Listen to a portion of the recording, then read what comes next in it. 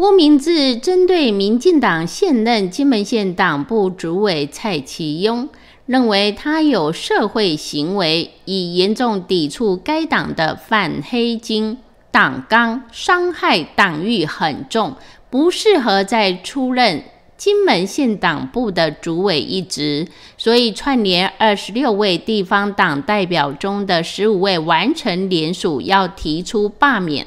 呃，民主进步党金门县党部的主委啊，这个蔡启庸，他呃有涉嫌贿选的问题嘛啊，所以呃，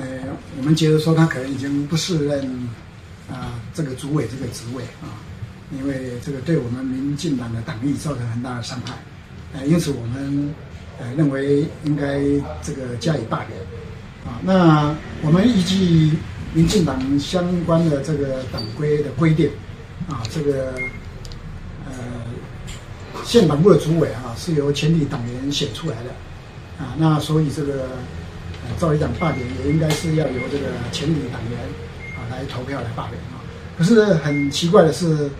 我们没有相关具体的规定，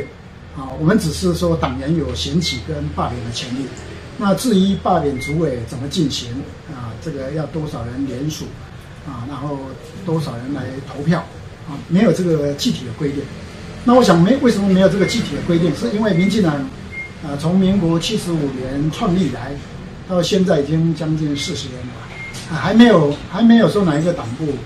啊，有罢免这个主委啊这样的前呃的一个例子存在了啊，所以以至于可能因为这样，所以没有相关的一个规定，啊，那所以我们这一次提出这个罢免主委啊的，可能是首例的哈。蔡其勇补充表示，政治是要落实乡亲平时的生活中。他在年少离家到台湾打拼数十年，